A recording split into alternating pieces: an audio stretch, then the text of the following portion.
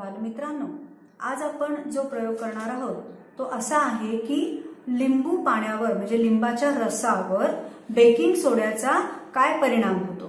तर या वाटीमध्ये हा जो तुम्हाला दिसतो आहे हा लिंबाचा रस आहे.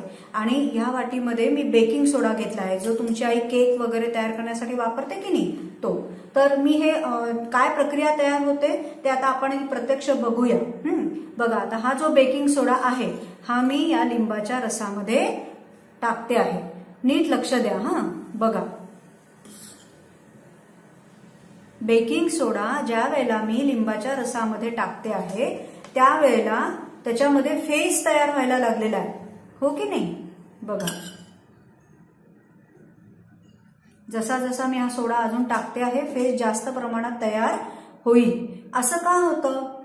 तर बेकिंग सोडा ज्यावेळेला लिंबाच्या रसामध्ये मिक्स होतो त्यावेळेला ऑक्सिडेशनची प्रक्रिया होते आणि कार्बन डायऑक्साईड तयार व्हायला लागतो. आणि तो कार्बन डायऑक्साईड या फेसाच्या याच्यातनं बाहेर पडायला बघतो. त्यामुळे हा फेस आपल्याला वरती आलेला दिसतो आहे. तर आला लक्षात तुमचा आजचा प्रयोग?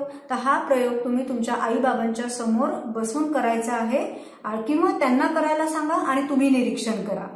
तर याच्यासाठी काय काय साहित्य लागलं? की लिंबाचा रस. आता मला वाटलं होतं हा फेस जास्त बाहेर आला तर खाली सांडेल. म्हणून मी हा खाली पेपर नॅपकिन घेतला होता. बघा आता फेस अजूनही तयार होतो आहे. म्हणजे कार्बन डायऑक्साईड हा अजूनही तयार होतो आहे. जसं मी आता बघा हे हलवलं तर अजून म्हणजे मी त्याला हे बघा दिसतोय तुम्हाला हा फेस? बघा आता किती फेस झाला. हो की नाही?